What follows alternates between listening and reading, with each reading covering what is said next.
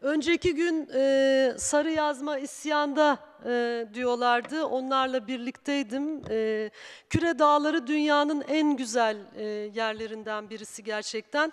Ve e, Cide'de e, 2009 yılında aslında bu ÇED raporunun şirket lehine onaylanmasından sonra HES yapılmak istenmesinden sonra idare mahkemesinde dava açıldı ve e, bu davada e, verilen hukuk mücadelesi sonunda Loç Vadisi'ne yapılmak istenen Cide Barajı ve HES projesi durduruldu. E, fakat şimdi yine bir başka yoldan dönerek e, aynı şeyi yapmak istiyorlar ve bunun üzerine hakikaten e, Kastamonlular sarı yazma yeniden isyanda diyorlar. Kastamonu İdare Mahkemesi'nin ve Danıştay'ın mahkeme kararları bu ülkede uygulanmayacaksa Kastamonu İdare Mahkemesi kapansın.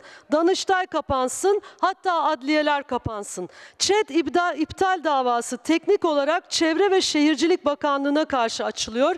İdare mahkemelerinin kuruluş nedeni hükümet uygulamalarındaki hukuksuzluğu gören vatandaşın itiraz etmesi içindir. Bir tebliğ, bir mahkeme kararını yok sayacaksa biz Çevre ve Şehircilik Bakanı'na bundan sonra padişahım çok yaşamı diyelim diyorlar.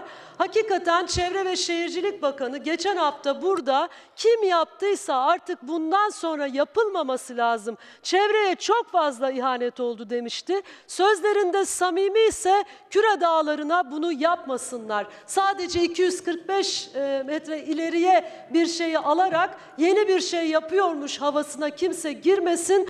Çünkü gelecekte nefes alamıyor olacağız e, Sayın Başkan.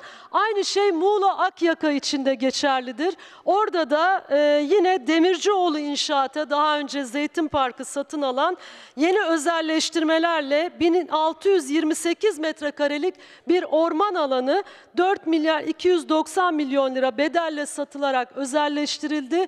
Bu da yine dünya harikası yerlerden biridir. E, hakikaten e, bütün bunları korumak vekil olarak bizim görevimizdir ama en başta Çevre Bakanı'nın e, görevidir.